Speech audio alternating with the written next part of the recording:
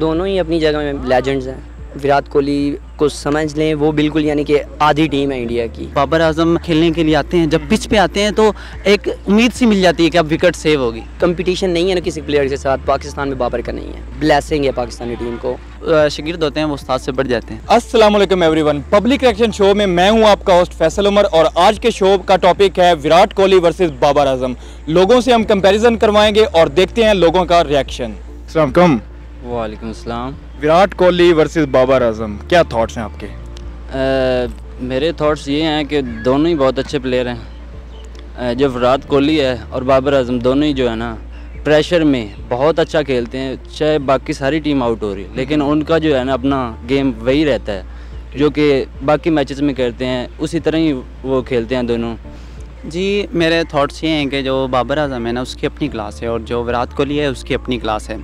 جس طرح آپ نے دیکھا ہے کہ وراٹ کوہلی جب سٹارٹنگ پوائنٹ پہ آئے تھے مطلب جب انٹر ہوئے تھے جب انہوں نے انڈر نائنٹین کھیلی تھی تو انہوں نے بڑے اچھے سے کھیلی تھی۔ ان کا جو شارٹ سلیکشن ہوتی ہے جو ان کا ردم ہوتا ہے ان کا جو کنسیپٹ ہوتا ہے وہ بہت ہائی کوالٹی کا ہوتا ہے۔ وہ پوری ٹیم کو اپنے ساتھ لے کے جاتے ہیں۔ ان کے ان کے مائنڈ میں کچھ ایسی انٹیلیجنس وائلڈ اپ ہوتی ہیں مطلب جو اس چیزوں کو انکریز کرتی ہیں۔ لیکن اس کے ساتھ ساتھ بابر اعظم کی ایک اپنی کلاس ہے۔ مطلب وہ جس طریقے سے ان کی شارٹ سلیکشن جس طرح آپ نے ڈرائیو دیکھا ہے وراٹ کوہلی اور بابر اعظم کا مطلب وراٹ کوہلی بھی شارٹ لگاتے ہیں مطلب ڈرائیو لگاتے ہیں وہ گولی کی طرح جاتا ہے۔ وراٹ کوہلی نے بہت ہی اچھی پرفارمنس دی ہیں لیکن بابر اعظم ابھی سٹارٹ میں آئے تو اس لیے آگے ان سے زیادہ پرفارمنس کی امید ہے۔ ٹھیک ہے۔ لیکن وراٹ کوہلی ایک لیجنڈ بن چکے ہیں۔ دونوں ہی اپنی جگہ میں لیجنڈز ہیں کوئی کسی کو کمپیئر نہیں کر سکتا۔ کمپیریزن نہیں بنتا۔ بالکل یعنی کہ وراٹ کوہلی میں جو کوالٹیز ہیں وہ بابر لیک کر رہا ہے۔ اور جو یعنی کہ مجھے نہیں لگتا یعنی کہ وراٹ کوہلی میں کوئی کمی ہے۔ ٹھیک ہے۔ ہر فارمیٹ میں یعنی کہ میں جتنا اس کا ہے نا میرٹ پہ کھیلنا۔ آپ دیکھیں گے جب بھی وہ آؤٹ ہوتا ہے تو کوئی اس طرح کی ڈیلیوری نہیں ہوتی۔ ان لکلی کوئی ہو جائے۔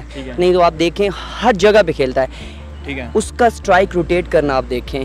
بابر کو دیکھیں۔ بابر تھوڑا بھی ٹائم لیتا ہے۔ وہ۔ یعنی کہ آپ دیکھ لیں وراٹ کوہلی جب ففٹی کرتا ہے تو اس کی جو سٹرائک ریٹ ہے اور بڑھ جاتی ہے۔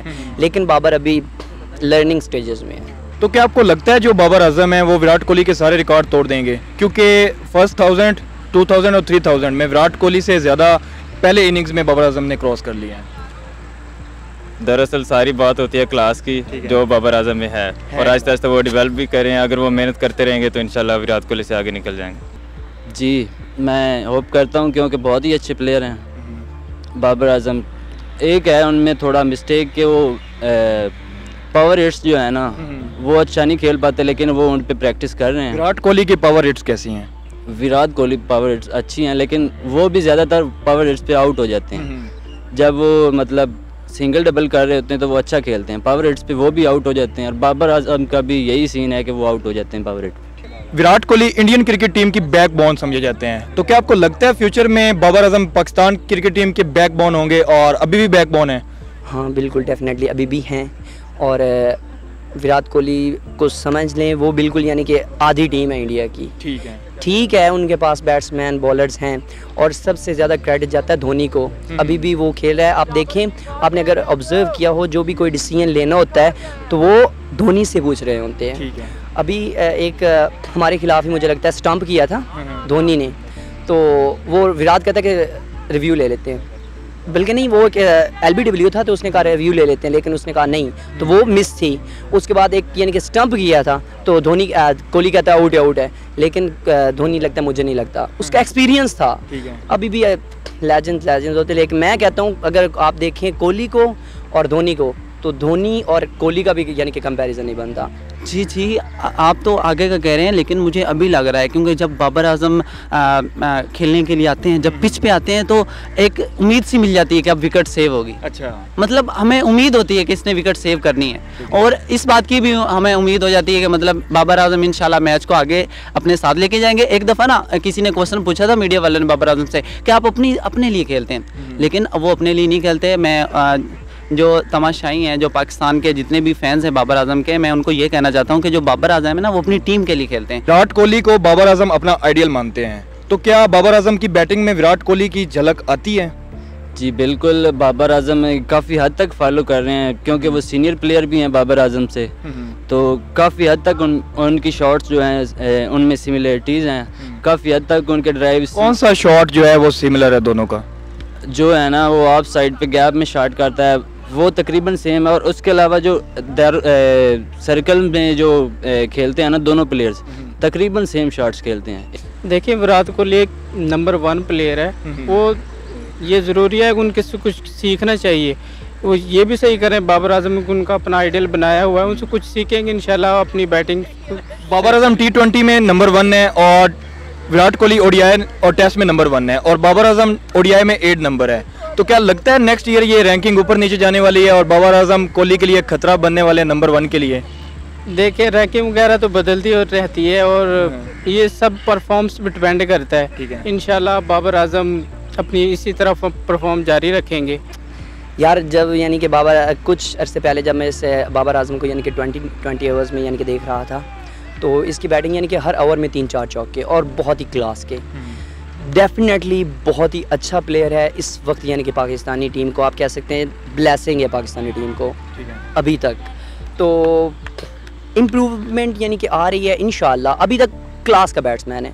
آپ دیکھیں جو بھی بالر ہے یعنی کہ بال کرواتا ہے ایک ڈرائیو دیکھیں۔ یا جس بال جس طرح کی ہوتی ہے کھیلتا ہے۔ لیکن ان لکلی ہو جاتا ہے ایک آدھ میچ میں۔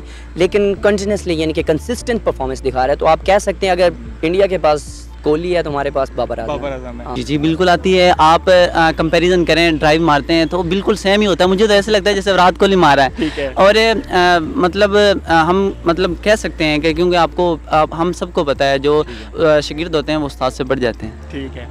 وراٹ کوہلی کے لیے اور بابر اعظم کے لیے کیا میسیج دینا چاہیں گے؟ جی میں بابر اعظم اور وراٹ کوہلی کو یہ میسج وراٹ کوہلی تو بہت لیجنڈ پلیئر ہے میں ان کو کوئی مشورہ نہیں دوں گا۔ وہ جس طرح اپنی گیم کو چلا رہے ہیں جس طرح وہ اپنی ٹیم کو اپنے ساتھ لے کے جا رہے ہیں ماشاءاللہ مطلب مجھے لگتا ہے کہ وہ انشاءاللہ مطلب اچھی ٹیم ہے۔ میں میں اپنے پوائنٹ آف ویو سے کہہ رہا ہوں۔ لیکن پاکستان کے اباؤٹ بھی ہم کہہ رہے ہیں پاکستان کو کوئی پتہ نہیں ہوتا کسی وقت بھی چل جاتی ہے کسی وقت بھی مطلب ایسے ہو جاتا ہے۔ جس طرح پاکستان پچھلا میچ انڈیا سے ہارا ہے انشاءاللہ انشاءاللہ آپ دیکھیے گا کہ ہمارا سیمی فائنل انڈیا والوں کے ساتھ ہوگا اور پھر دیکھیں گے کون چیمپئن بنتا ہے اور کون کس کا باپ ہوتا ہے اور کون کس کا بیٹا ہوتا ہے۔ ٹھیک ہے ایک میچ ہارنے سے کچھ نہیں ہوتا۔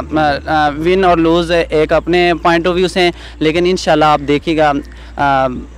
بابر اعظم کو چاہیے وہ تھوڑی اور سٹرگل کریں تھوڑی اور محنت کریں۔ اس کی ٹیکنیک میں اور نکھار آئے گا۔ جب وہ مطلب ایک جب ٹی ٹوینٹی میں کھیلتے ہیں اچھا کھیلتے ہیں مطلب بہت اچھا کھیلتے ہیں۔ لیکن جب اینڈ پوائنٹ آتا ہے جب آخری پانچ اوور ڈیتھ اوور ہوتے ہیں اس میں تھوڑی دقت ہوتی ہے۔ تو اس اس چیز کو امپروو کرنے کا مطلب تھوڑا کریں۔ بابر اعظم کے لیے اور وراٹ کوہلی کے لیے ایک میسیج یار میسیج تو کوئی نہیں ہے لیکن بہت ہی اعلیٰ کھیلتے ہیں بہت یعنی کہ mind blowing players there is no competition یعنی کہ اگر انڈیا میں اس کا کمپٹیشن نہیں ہے نا کسی پلیئر کے ساتھ پاکستان میں بابر کا نہیں ہے۔ جی تو جیسے آج کے شو میں آپ نے دیکھا کہ کچھ لوگوں نے کہا کہ وراٹ کوہلی کافی ایکسپیرینس پلیئر ہیں اور بابر اعظم کا ابھی سٹارٹ ہے۔ تو وہ امید کرتے ہیں کہ کچھ ٹائم بعد فیوچر میں بابر اعظم وراٹ کوہلی جیسا فیم حاصل کر سکیں گے۔